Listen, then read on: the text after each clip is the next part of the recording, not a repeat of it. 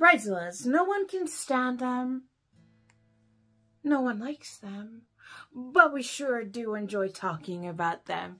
Today's story is from the subreddit r slash bridezillas, and it goes, Bridezilla over costume jewelry? So, let's get started with this bridal inspired transformation. And I've got a question for you. Do all brides become bridezillas at some point? Leave it in the comments below.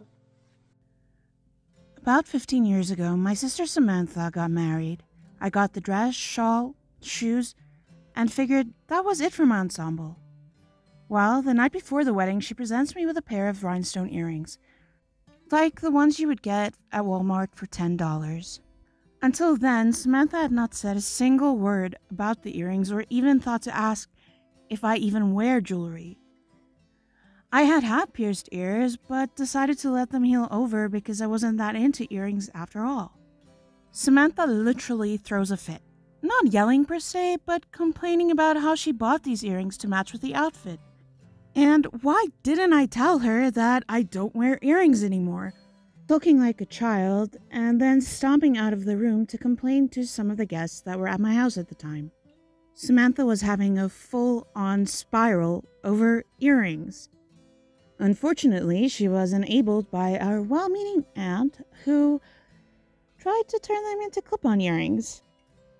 Wait a minute. Wait just a minute. So you're telling me that your sister, Samantha, does not know that you don't wear earrings? Does she even spend a lot of time with you?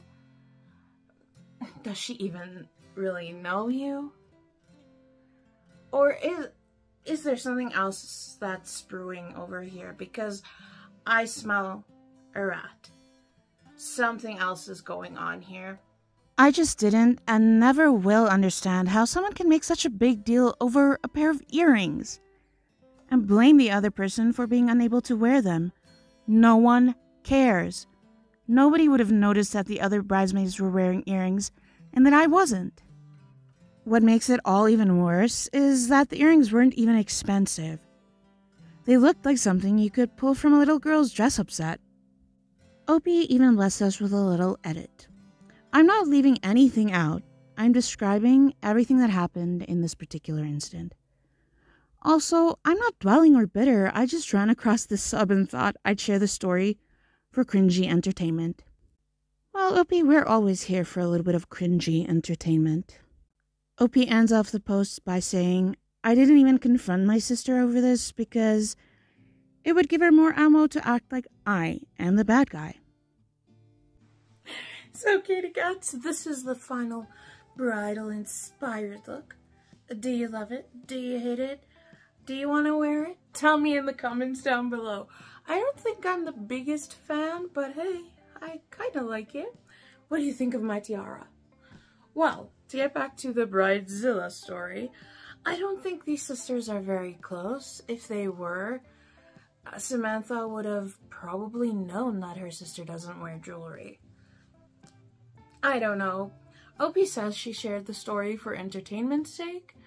Is quite entertaining, but it, it, there's so many questions that I have. Like, why didn't they talk about jewelry? Isn't that something that you talk about when you plan a wedding and you talk to your bridesmaids?